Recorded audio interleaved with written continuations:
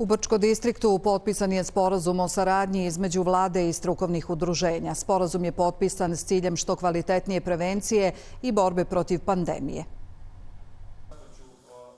Cilj sporazuma je i uključivanje udruženja u pružanje konkretne pomoći građanima i institucijama u novonastalim okolnostima s akcentom na stanje pandemije virusa korona. Sporazum je potpisan sa sedam udruženja.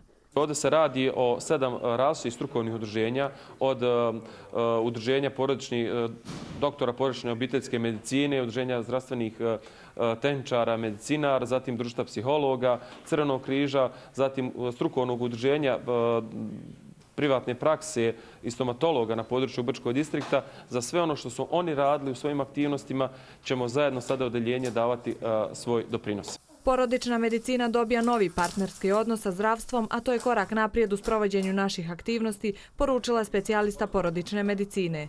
Naše udruženje koje evo, e, postoji već četvrtu godinu e, je do sada poduzelo i poduzimalo već neke određene aktivnosti, prvenstveno na e, promociji i prevenciji zdravlja, što je inače i svakodnevna obaveza i dužnost doktora porodične medicine.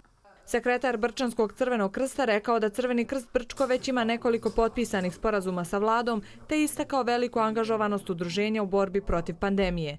Vama je poznato da smo mi već sa našim timom na ispomoći javno-zastavnoj ustanovi. Također tu su i drugi programi koje mi sprovodimo od dobrom davlaštva krvi, od jeli, generalno borbe u COVID-u i ispomoći na svim onim dijelovima gdje možemo dati svoj doprinos. Tako da s ove strane i protok informacija i jedan jeli, vjetar u leđa od odjela za javno zdravstvo da to radimo još bolje u budućnosti. Sve postojeće mjere u Brčko distriktu su produžene.